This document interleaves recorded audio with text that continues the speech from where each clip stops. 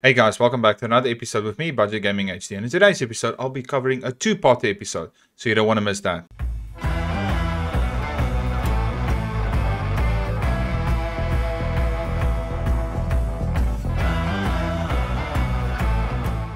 Hey guys, welcome back to another episode with me, Budget Gaming HD. And like I've mentioned, I'll be covering two parts in this episode. One would be explaining the basics of DiskPart, and number two, if you ever got into that unnecessary snag of losing any of your pictures, videos, documents, whatever it might be, I'll give you a quick and easy way how to recover it. So let's jump into that tutorial. As a first start for this tutorial, you want to go to start and type in CMD. It just stands for command prompt. You can right click and run as admin, but because I'm the administrator of my own PC, I'm just going to open it as is. The command that you want to run is DiskPart. DiskPart is just an interpreter for your computer to understand what you're trying to tell it in the disk management system. There's nothing fancy about it, however, it is a very powerful tool. So now that DiskPart is open, the utility that we wanted to run, you can type in DiskPart and then command, and it should give you a list of all the commands that is available. Now the reason why I'm using DiskPart is purely for the fact that if your hard drive or your SSD became corrupted, right? It might not pick up in your computer management system. And by computer management, I mean comp management. As soon as you run it and you go to disk management, it should display all your logical disks.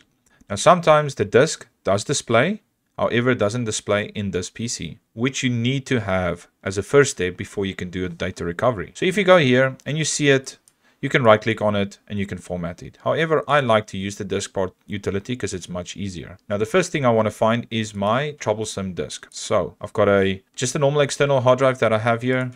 Obviously, it's in working condition. This is only for a tutorial basis, but it gives you the idea. The first command that I want to run is list disk. So it will tell me disk 0, 1, 2, 3, 4, and 5. Now for this tutorial, I'm going to use my disk 5 because that's my external hard drive. So now I want to type in select disk 5. Disk 5 is now selected.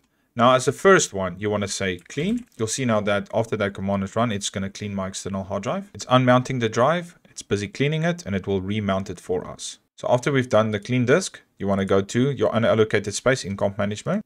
Right click, initialize disk. You're going to have two options. One would be for MBR and the other one is for GPT, master boot record or partition table, general partition table, right? One is for Windows, master boot record, generally, and your GPT style is generally for data. Now, because I'm using it for data, I'm going to partition it as a GPT style. DiskPart is an amazing tool to use for your disks and recovery system because it's a vital part of this process. You clean the disk, you convert it. If you can't load Windows on a faulty disk, you launch DiskPart, you select the disk that is faulty, you clean it, and then you can just type in convert MBR because we've already selected disk 5 or convert GPT and it will convert it for you right? So it's a very cool tool to use. So let's quickly convert this disk or make it online for us. I'll sign H to it, it doesn't really matter. Call it new volume. Now do keep in mind when you want to do data recovery and you do see your disk here, you do not want to do these steps because you're going to lose your data eventually. And of course, the program that I'm introducing to you guys, it will work on a formatted disk. It will get most of your data back, but sometimes photos and documents don't restore 100%. So if you see your disk here and you want to recover data, go to the next section in this video. However, if your disk is faulty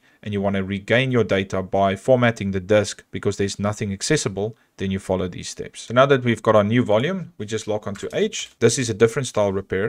So you can just say check disk dsk forward slash f forward slash r, right?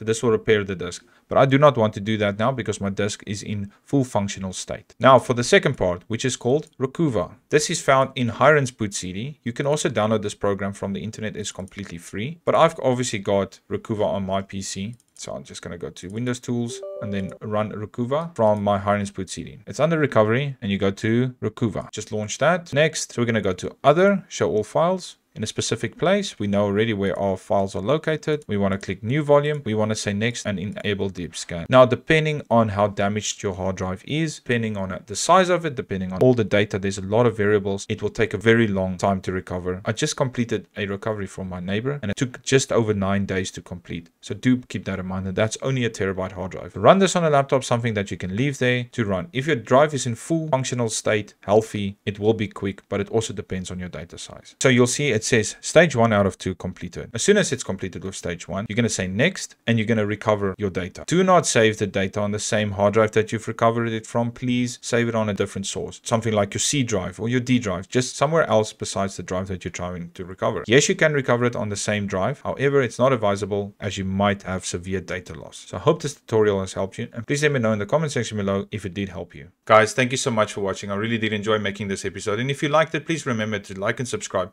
and hit my ding dong to stay up to date with my content. And I shall see you in the next one.